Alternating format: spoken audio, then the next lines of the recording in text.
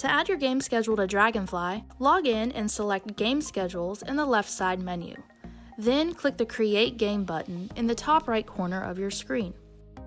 Fill in the fields to input basic information about your game.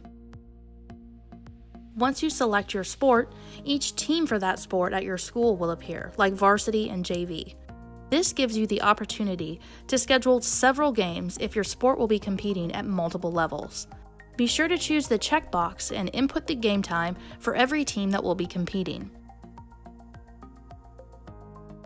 Click the Add to Schedule button, and the games will be saved as you return to the main game schedule page. If you're in a hurry, you can always use the Quick Add feature at the top of the page to add a single game. To view your team's games, click on the search bar and select Sports from the drop down menu, then select your sport from the list.